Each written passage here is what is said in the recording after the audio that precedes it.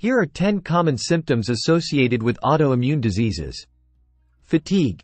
Persistent fatigue or extreme tiredness is a common symptom experienced by individuals with autoimmune diseases. This fatigue is often debilitating and can significantly impact daily functioning. Joint pain and swelling. Many autoimmune diseases, such as rheumatoid arthritis, lupus, and psoriatic arthritis, can cause joint pain, stiffness, and swelling. These symptoms often affect multiple joints and can vary in severity. Muscle pain and weakness.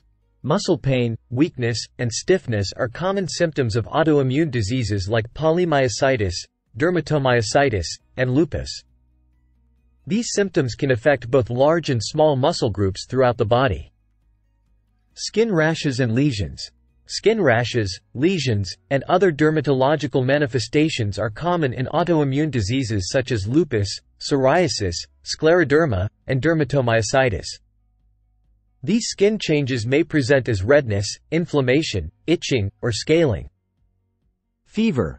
Low-grade or recurrent fever is a nonspecific symptom that can occur in many autoimmune diseases. Fever may be a sign of inflammation or immune system activation. Digestive problems. Autoimmune diseases affecting the gastrointestinal tract, such as Crohn's disease, ulcerative colitis, celiac disease, and autoimmune hepatitis, can cause digestive symptoms such as abdominal pain, bloating, diarrhea, constipation, and malabsorption.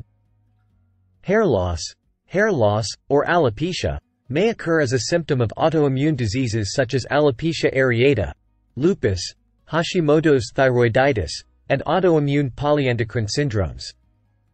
Hair loss may be patchy or diffuse and can affect the scalp, eyebrows, eyelashes, or other body areas. Sensitivity to cold or heat.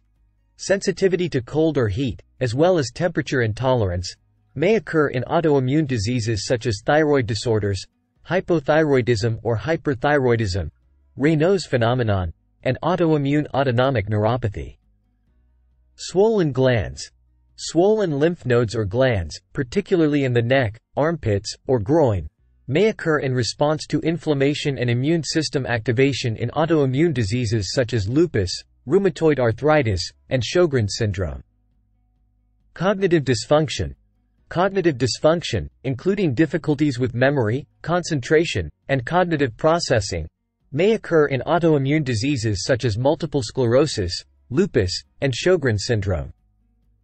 Cognitive impairment may affect daily functioning and quality of life. It's important to note that autoimmune diseases can present with a wide range of symptoms, and individuals may experience different combinations of symptoms depending on the specific condition and its severity. If you experience persistent or concerning symptoms suggestive of an autoimmune disease, it's essential to consult with a healthcare professional for evaluation, diagnosis, and appropriate management.